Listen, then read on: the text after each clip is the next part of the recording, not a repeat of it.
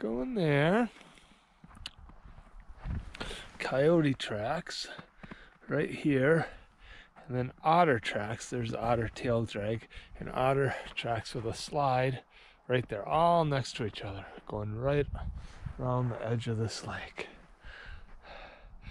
And it snowed last. These are all from early morning today or um, maybe early in the night, like four in the morning or something.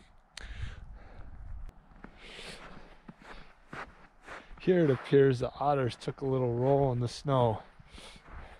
See there, they came along here, came along, came along, went over this fallen tree, and it looks like they rolled around and uh, I'm assuming there was more than one. Maybe they were rolling around together, but anyhow, there they went off into the wild blue yonder.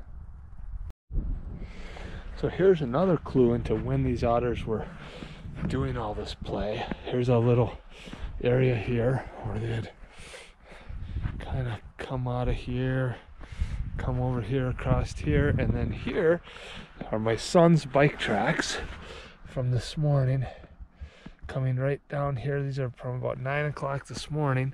Obviously, this otter went over his bike track and splashed snow on there after he biked around here. So these tracks right here are since nine o'clock this morning. Right now it's probably four in the afternoon. So seven hours old at the oldest. And then here is coyote track. I believe that's a small coyote though. Going around here and up.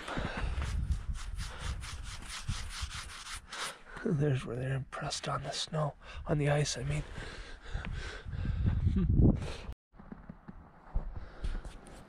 So here is a little coyote party. They came in here, peed on this log.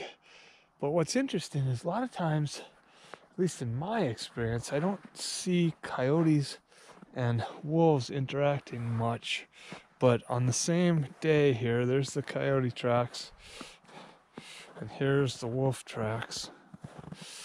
All in the same spot, basically. That's interesting.